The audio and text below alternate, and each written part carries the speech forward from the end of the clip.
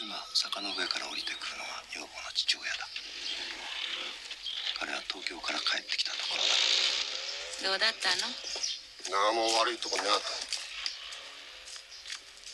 彼は今機嫌が良い。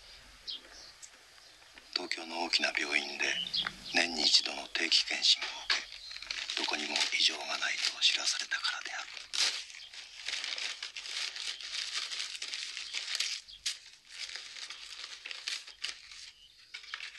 ロースハムとアボカドとうなぎ日頃極端に倹約家であった夫のこの突然の浪費は彼の妻を驚かせるに十分であった。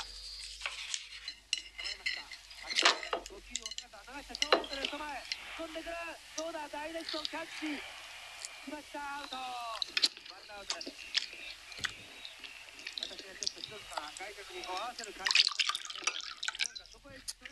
もよかったじゃないの。ああええ気分だ一安心ね。いや安心もしとられんわ。120万で生きにはいかんでよ。若い目かけと思ってな。どうぞ好きなようにやってちょうだい。19から20歳ぐらいのよ。若い婦人をよ。月々一定の礼金を与えてだね。別に何もせんでもええんだわ。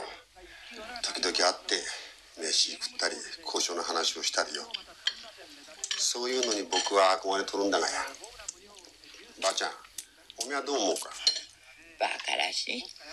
若い女捕まえて昔の地盤話するの。戦争の話するの。シンガポールで女買った話するの。そんな話若い女が引くもんかね。んだで聞いてくれるような性格の娘さんを探すんだで。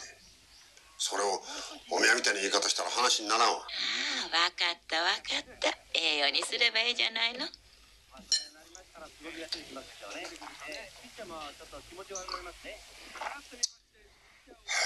ええ気分だ。異変が生じたのは夕食の後であった